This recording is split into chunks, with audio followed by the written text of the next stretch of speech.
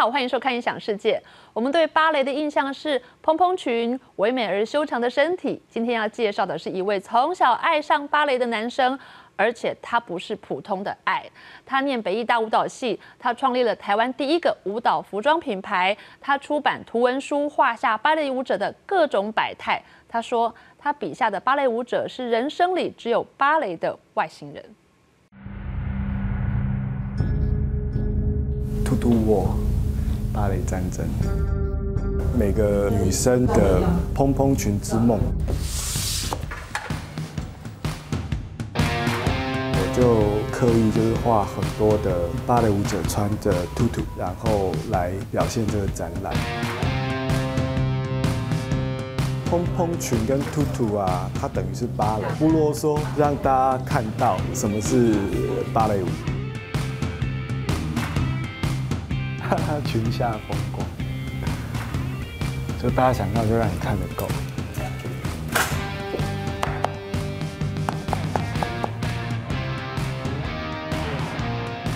然后把缎带铺满，因为那个缎带也是一个芭蕾舞之梦的那个连接点，硬鞋的鞋带。又用一个大家最熟悉的。呃，芭蕾舞剧的表演服装来呈现给大家，就是啊，天鹅湖、黑天鹅、白天鹅。蓬蓬裙、硬鞋、芭蕾舞衣，多种芭蕾舞元素构筑出一场名为《芭蕾舞战争》的展览。他是林炳豪，过去自创了台湾第一个芭蕾舞衣设计师品牌，现在的他还多了图文作家的身份。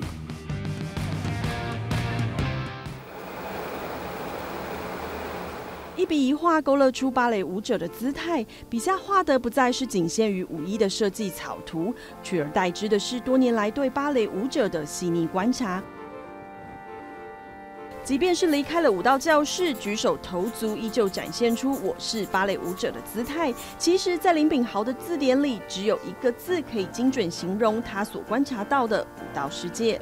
这个舞蹈世界啊，不管是中国舞或是现代舞，它只有。一个动词，我不知道这个是不是动词产生，叫做竞争。如果你可以当主角，你为什么要一辈子当群舞呢？是不是？没有人一辈子想当群舞。对于眼尖的读者们发现，书里的舞者都只有眼睛。林炳豪这样解释：因为舞蹈它不用讲话，它全部都用肢体表达，所以我不需要嘴巴。对呀，我只需要眼神还有动作而已。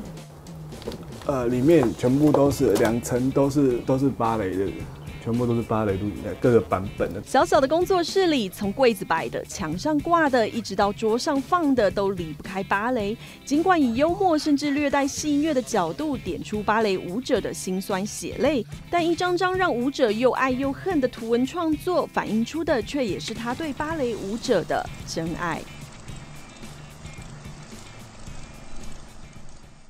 你可能很难想象，我身上这件突突芭蕾纱裙出自一个男生之手。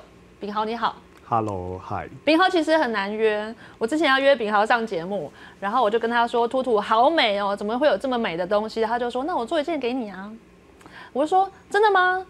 你，然后炳豪就跟我说：“你穿得上，我就上你的节目。”然后我就跟他说：“好，你上我的节目我就穿。”所以炳豪就带了一件纱裙来。结果穿得下吗？穿不下，这个太残忍了。这个是芭蕾舞者的腰围啊，一般正常的芭蕾舞者的腰围。这是几腰？呃，大概二十四吧。你为什么要这样为难我？我让你先知道，就是芭蕾世界是残酷的，很竞争，对不对？非常。嗯，所以你是什么时候开始喜欢上芭蕾的？严格讲起来，应该是国中国一的时候吧。我忘记国一是十二还是十三岁。嗯，对，然后。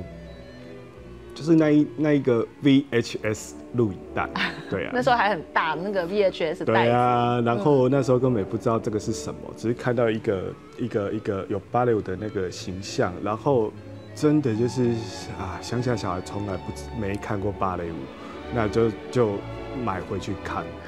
你看到什么？就吓死了，对，就是就是原来跟妹妹在跳的那种律动芭蕾是完全不一样啊。那时候你妹妹在学芭蕾舞。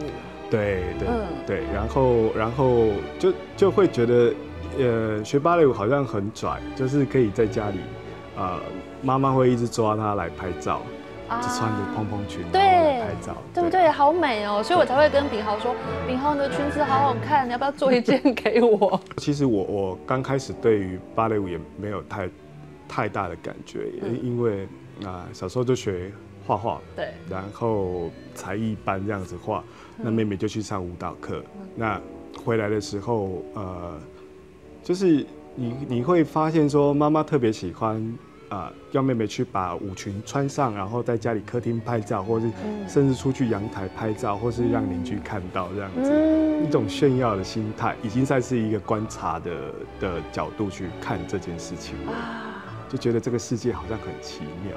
芭蕾的世界很奇妙。对，炳浩，你从小就是一个很爱芭蕾舞的人，你可不可以跟我们说，你到底做了什么疯狂的事？高中的时候一直骗妈妈的钱，对，就是我有买不完的参考书，买不完的颜料。然后，然后这些钱我不是拿去拿拿去，不是真的跑去买参考书，对不是跑去买颜料，但我也不是去娱乐哦，对我是我是去学跳舞。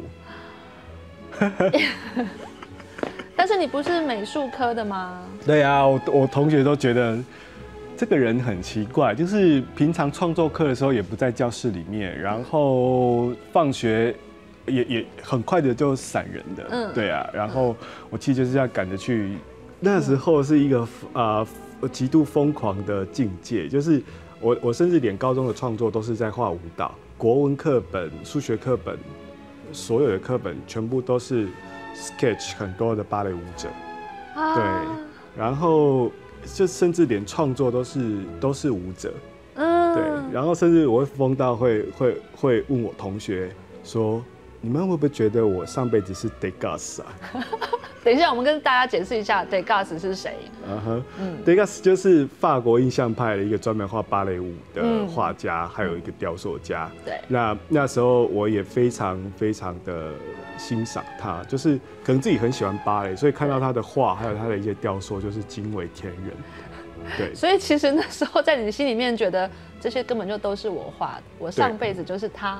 我我觉得我懂他，然后我知道他在画什么，嗯然后那一个舞蹈课的境界是什么，然后我我我就甚至开始幻想说，我那么会、那么爱、那么会画芭蕾舞，可能我上辈子可能就是他哦。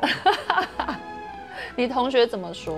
我同学说你疯了，得豆家，你是斗鸡吧？